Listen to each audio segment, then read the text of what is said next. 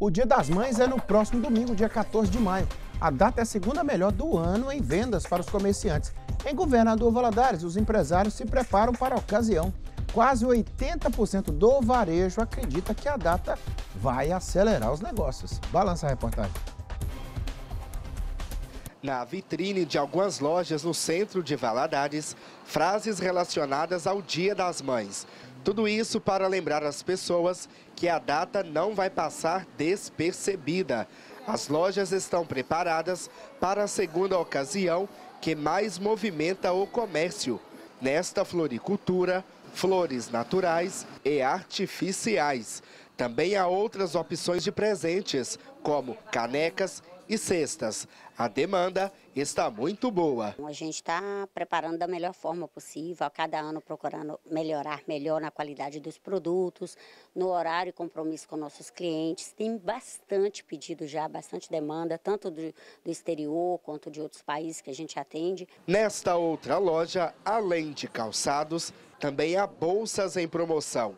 O aumento esperado nas vendas para o Dia das Mães deste ano é de 20%. O Dia das Mães é realmente o começo do ano. É, é, algo que a gente tem uma expectativa de aumento, de crescimento, melhoras nas nossas vendas.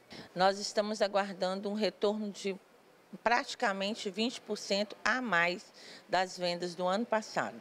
Um levantamento feito pela Fé Comércio de Minas Gerais apontou que quase 80% dos varejistas acreditam que a data vai alavancar os negócios. A pesquisa ainda revelou que, por causa do otimismo, os empresários devem reforçar o quadro de pessoal. Nós precisamos reforçar porque agrega né, para o cliente ser bem atendido, ser bem assistido dentro da loja. Isso nos ajuda nesse aspecto de termos uma excelente venda.